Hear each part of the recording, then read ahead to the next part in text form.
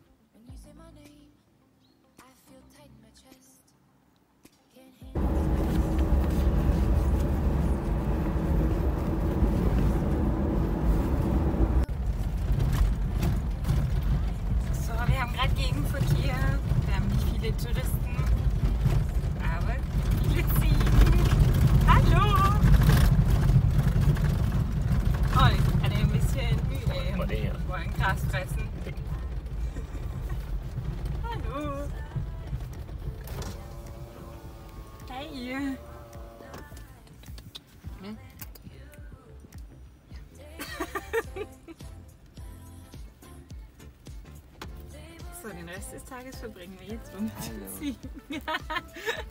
Hallo!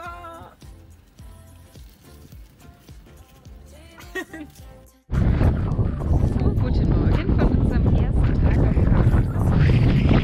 Wir haben ein fantastisches Frühstück bekommen von Bruce, von unserem Gastgeber. Hat für uns was ganz Tolles gekocht. Und ähm, wir haben uns überlegt, wir wollten einen Strand sehen heute. Und, ähm,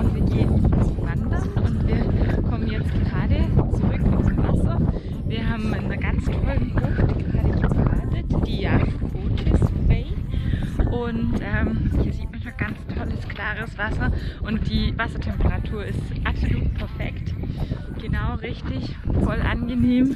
Und ähm, da es draußen ziemlich windet, ähm, war es im Wasser sogar fast angenehmer wie draußen.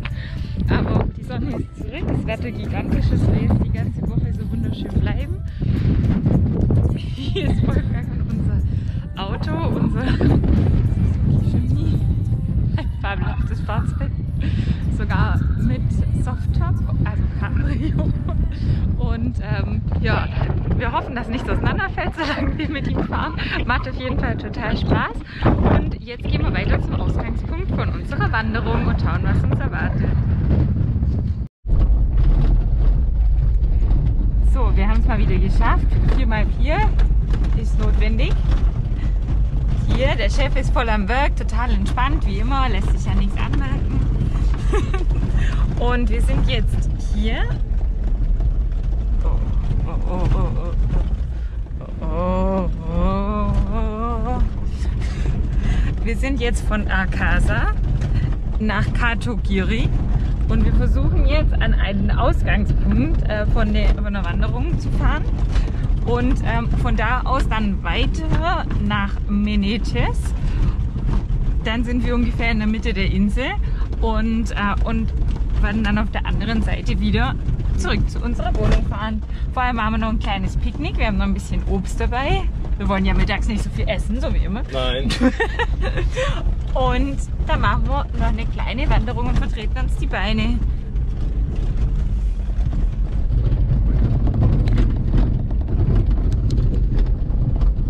Und zwar hier auf den Komali, 685 Meter, waren wir gerade oben. Es war nicht ganz so leicht, den Wanderweg wirklich zu finden. Ich behaupte immer noch, es war gar kein Wanderweg, sondern es waren irgendwie ein paar ausgetretene Ziegenpfade. Ähm, aber gut, hier hinten sieht man ihn, ist ein ziemlich flacher Hügel ähm, und natürlich gar kein Gipfelkreuz, wie wir das von den Alpen kennen. Ähm, ungefähr eine Stunde sind wir gelaufen, so 200 Höhenmeter.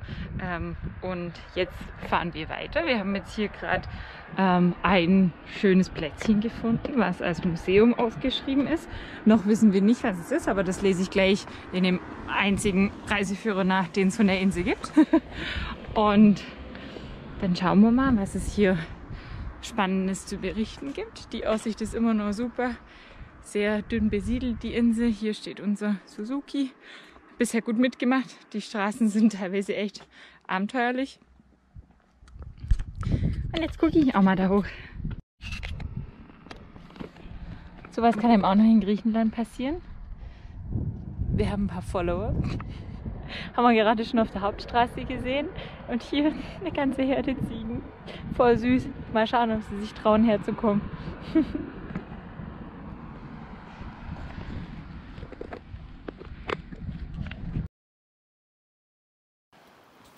So, wir haben unser Auto geparkt und wir sind jetzt angekommen am Apella Beach, einer der schönsten Strände der Insel. Wir haben es von oben schon gesehen, es ist wirklich wunderschön. Das Wasser ist traumhaft. Wie auf den Bahamas, ohne Schweine. Wunder, wunderschön. Und ich glaube, es sind auch keine anderen Leute außer uns da. Vielleicht ein Paar oder so, da hinten. So, jetzt sind wir am Beach. Wir haben ein Plätzchen gefunden. Was vom Weg nach alles Wasser. Es ist wunderschön klar.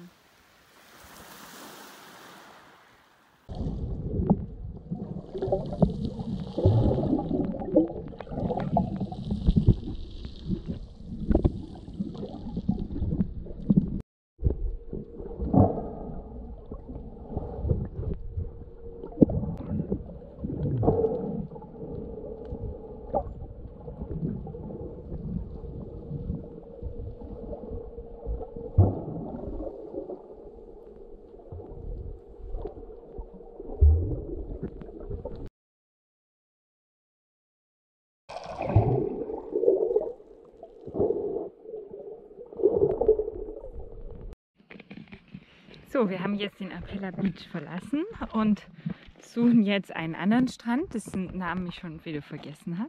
Kaulako. Kaulago. Und wir haben ihn auch schon gefunden. Wir haben jetzt hier oben geparkt und man kann nicht mehr weiterfahren. Das heißt, wir laufen jetzt zu Fuß hier runter. Und hier oben steht unser Jimny, der uns bisher drei Dienste erwiesen hat. Und wir, ein richtig guter Hund. wir haben bisher noch keine Autoteile verloren. Das ist die wichtigste Information. Ansonsten bleibt alles gut. Cabrio fahren macht mega Spaß. Heute ist es auch richtig schön vom Wetter her. Ganz toll. Und jetzt machen wir unseren kleinen Spaziergang nach unten. So, wir starten heute eine kleine Wanderung. Wir haben den Jimny da unten abgestellt da, und sind jetzt im Lasto Hochland und wollen heute den Kala Limni besteigen mit 1200 und ein paar Metern der höchste Berg. Wir wissen noch nicht genau, wo er ist. Es sieht alles sehr, sehr, sehr karger aus. Alles das gleiche Landschaftsbild. Wetter ist guter Dinge Ja, total. voll motiviert. Ein paar kleine Hunde im Dorf, die uns abgeschreckt haben. Hier sieht man die eine Seite von der Insel und da drüben später die andere. Aber jetzt gehen wir erstmal ein bisschen weiter. Gut markierte Wanderwege mit einem roten Punkt. Wir folgen einfach der Ziegenscheiße und den etwas leicht ausgetretenen braunen Faden und werden dann hoffentlich in einer knappen Stunde oben sein. Sollte nicht so anspruchsvoll werden. Es bleibt spannend. So, sind schon einiges gelaufen. Sind auf 1100 Höhenmeter. Knappe Stunde unterwegs. Wir vermuten, das Ziel ist ungefähr da oben hinter dem Baum. Es ist nicht so einfach, hier einen richtigen Gipfel zu erkennen. Wir haben immer, wahrscheinlich jetzt schwer zu erkennen, aber ungefähr da ist eine Ziege und die beobachtet uns, was wir hier machen. Wir sind gespannt, wie lange sie da noch stehen bleibt und wo die Familie ist. Sonst ist es hier eine sehr interessante Landschaft. Wir haben überall diese spannenden Bäume hier. Ganz fest. Oh, und ganz pieksen. Das Einzige, was die Ziegen nicht, an, nicht anfressen. Die sind super eng verwoben, ganz vielen kleinen Dornen. Und die gibt es hier überall, diese ganz große Büsche. Noch mehr Und pieksendes manche werden grün, andere nicht mehr so viel grün. Sonst ist es hier sehr flach, ungefähr da unten. Wo ist er denn jetzt? Gerade eben hat man noch gesehen. Da. Da ist der Chimney. Da. Gut. Greifen wir an. Zoomen wir mal den Gipfel. Letzten Meter. So, wir sind oben am höchsten Punkt der Insel. Kali Limni 1215 Meter. Leider haben wir keinen perfekten Rundblick. Es hat heute ein paar Wolken. Und wie man sieht, es drückt die Wolken einfach hier brutal über diesen Berg. Die ziehen auch verdammt schnell. Auf der anderen Seite sieht man das Meer. Schön blau, aber es ist etwas windig. Es war eine sehr schöne, einfache Wanderung, 500 Höhenmeter. Kleines Päuschen im Schatten und dann geht es wieder runter.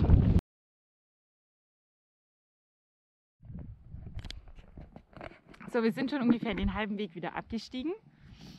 Wir haben gerade geredet und gesagt, wenn man sonst in den Alpen wandern geht, ist man natürlich ein bisschen verwöhnt. Also die Landschaft hier bleibt immer gleich. Es gibt immer diese, diese Stacheldrahtbüsche, die die Ziegen nicht anrühren. Und, ähm, und ansonsten haben wir Glück, wir haben einen Aufstieg gewählt.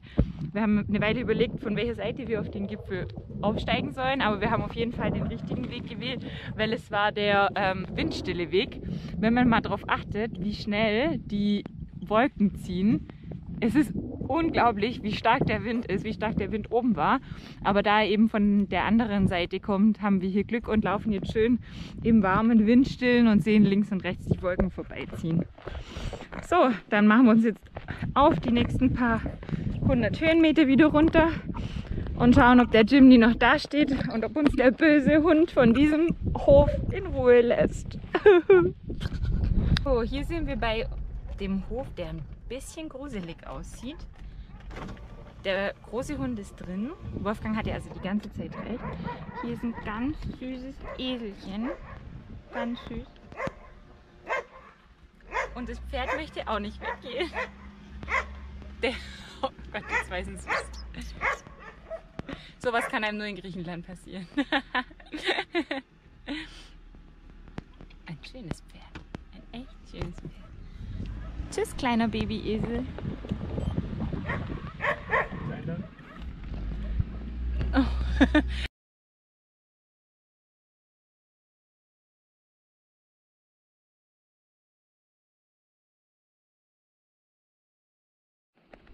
So, guten Morgen vom vierten Tag Karpathos.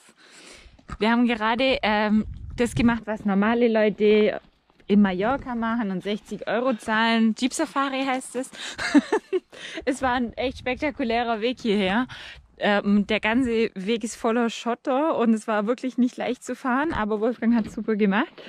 Und jetzt stehen wir hier am Ausgangspunkt, den wir zum Glück gefunden haben, weil es immer nicht so einfach ist, von unserer Wanderung in der Nähe von Dia, Diafkani. Diafkani. Und hier sieht man noch einen ganz tollen Olivenbaum. Und dieses Gebäude war das Zeichen, dass wir jetzt ähm, das Auto stehen lassen mussten. Ab jetzt geht es nur noch auf dem Wanderweg weiter. Und wir werden jetzt hier ungefähr fünf, fünf bis sieben Kilometer an der Küste entlang wandern und hinten eine schöne Bucht und einen schönen Strand finden. Dann legen wir mal los. So, wir laufen hier einen wirklich schönen Weg entlang. Immer am Rand dieser kleinen Gebirgskette. Rechts von uns das Wasser.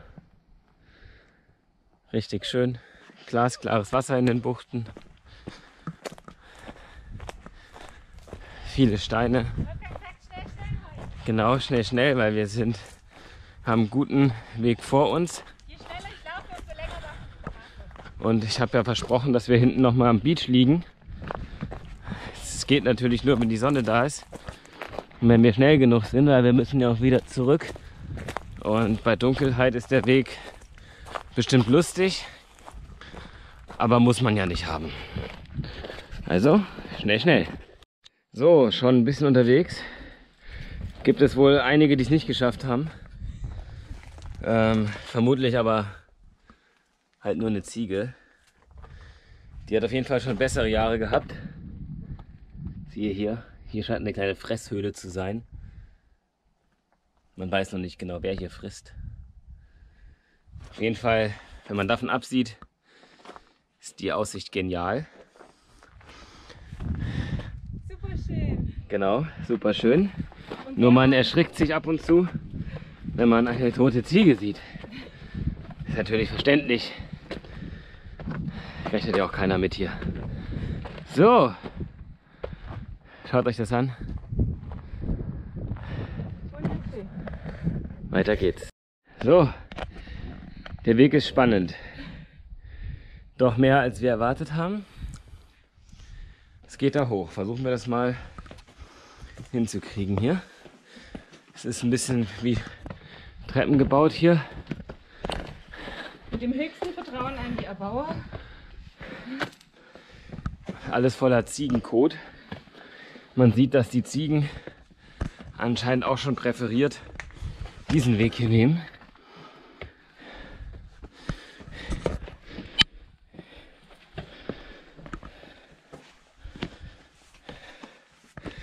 Trotz, dass es bedeckt ist, es ist scheiße heiß. Mir läuft der Schweiß nur so runter. Genau. Er läuft runter. Ich hoffe, es gibt eine schöne Aussicht. Ich Ja, höre noch nichts. Ja, Wow, super schön. Ganz ruhig. es riecht nach Thymian. Gut, dann geht's wohl hier an der Kante weiter. So, 5,45 Kilometer gelaufen. Es ist sehr, sehr heiß. Es ist sehr warm und schwül. Ja. Ich finde es eher schwül. Nach 5,4 Kilometer findet man den Wegweiser.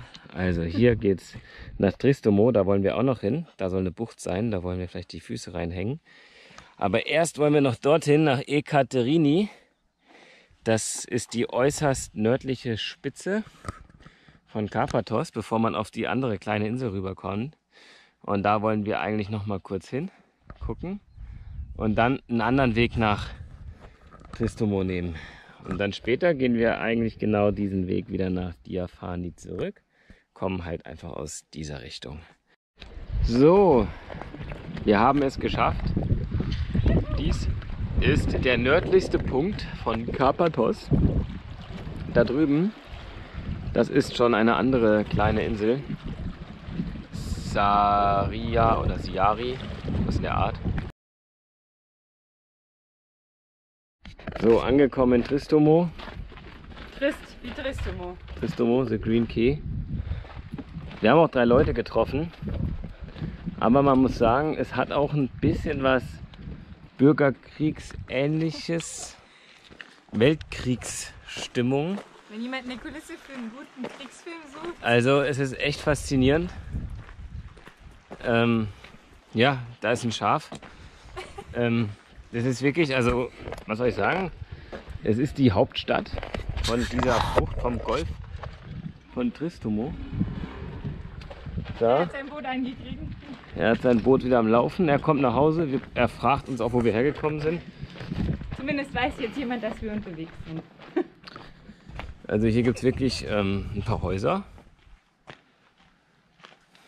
Wenn hier einer tot in der Ecke liegt, wird es nicht auffallen.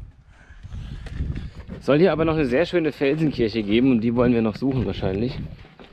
Ich versuche gerade meine Begleitung zu überreden, dass das eine gute Idee ist.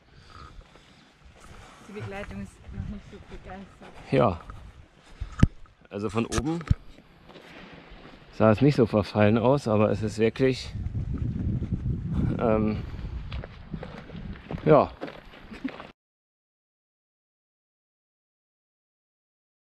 Ja, wir sind wieder auf dem Rückweg.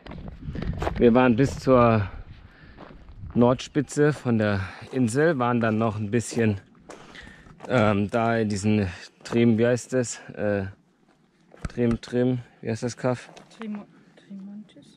Naja, Trist, Trist, Trist, Tristomus. egal. Auf jeden Fall da, wo wir das Spukvideo gemacht haben. Jetzt sind wir auf dem Rückweg.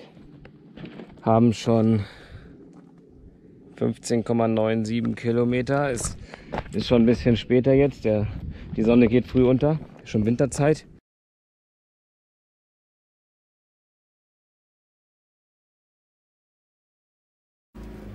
Es hat gestern ein bisschen geregnet. Mm, Ein paar größere Steine auf der Straße.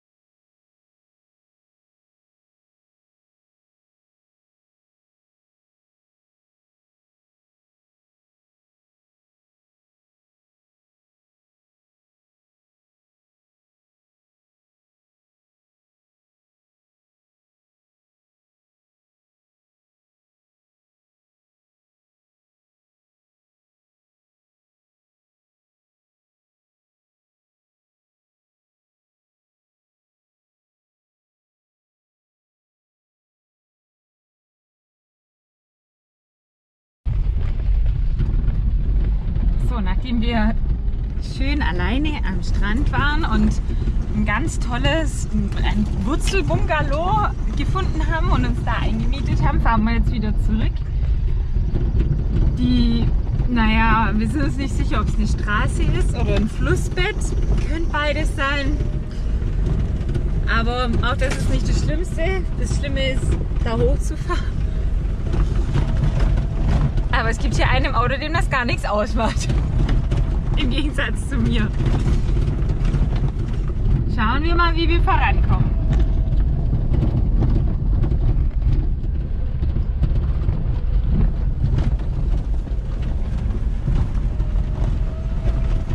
So, ich glaube, jetzt kommt das anspruchsvollste Stück der Auffahrt von diesem Beach.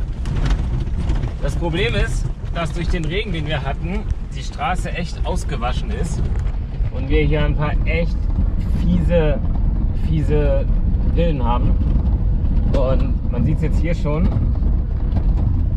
Also, das ist schon echt nicht ohne. Man darf da nicht reinkommen. Wenn der Jimmy da reinrutscht, dann ist finished. Dann werden wir wahrscheinlich auffliegen und ich weiß nicht, ob man da wieder rauskommt.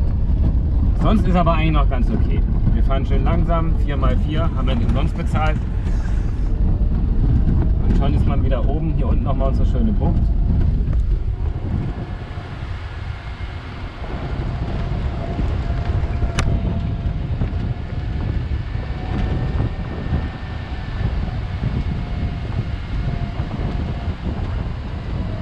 Und jetzt nach hier hoch. Manchmal ist die Straße ein bisschen eingebrochen nach rechts. Auch durch den Regen. Ich denke mir, das war vorher nicht.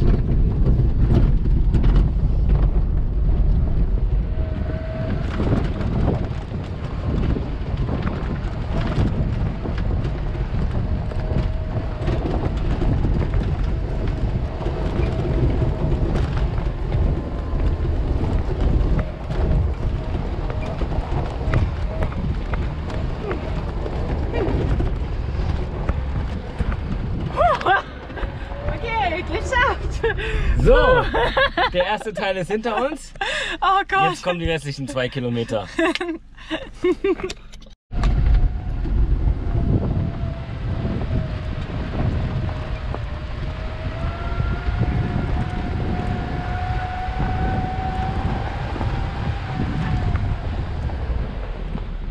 ganz da unten, ich weiß nicht, ob man es gut erkennen kann, aber da hinten sind ein paar Zelte.